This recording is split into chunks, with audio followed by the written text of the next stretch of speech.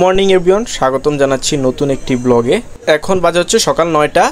এটা হচ্ছে close up okay, তো ফ্রেশ হয়ে রেডি হয়ে নিলাম। ওকে, তো আমাদের ব্রেকফাস্ট রেডি সকালের ব্রেকফাস্টে এক কাপ চা না হলে হয় না। ওকে, তো এই মাত্র বাসা থেকে বেরিয়ে পড়লাম অফিসের উদ্দেশ্যে। তো এখন যাচ্ছি অফিসের দিকে। আজকে লেট হয়ে গেছে খুব।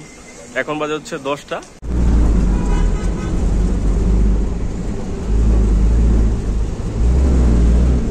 অলরাইট তো এই মাত্র অফিসে আসলাম। অফিসে এসে ল্যাপটপটা ওপেন করলাম ফার্স্ট অফ অল দেন একটু মার্কেটে হাঁটাহাঁটি করতেছিলাম। আমাদের যে ছোট আউটলেটটা আছে, ওইটাতে গেলাম একটু সবার সাথে দেখা করতে। আচ্ছা এটা হচ্ছে আমাদের ছোট আউটলেটটা এখানে গোল্ড ডায়মন্ড দুইটাই আছে। এই আউটলেটে সবার সাথে আজকে তোমাদের পরিচয় করে দিব। এটা হচ্ছে মিশু ভাই। বয়স দেখতে কিন্তু কম মনে হয়, কিন্তু বয়স কিন্তু অনেক বেশি।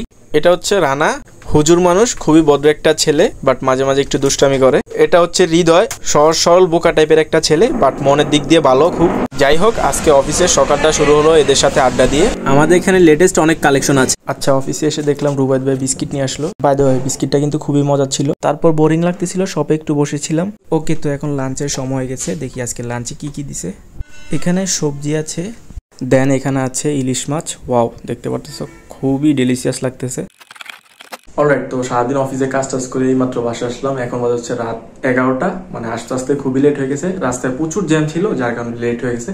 তো আমি ব্লগটা এখানে শেষ করে দিচ্ছি। আই হোপ তোমাদের কাছে ব্লগটা ভালো লাগছে। যদি ভালো লেগে থাকে, অবশ্যই চ্যানেলটা একটা সাবস্ক্রাইব করে দিবা। আর ভিডিওতে অবশ্যই লাইক করে দিও।